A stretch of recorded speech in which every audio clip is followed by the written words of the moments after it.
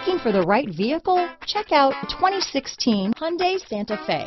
Style, quality, performance, value.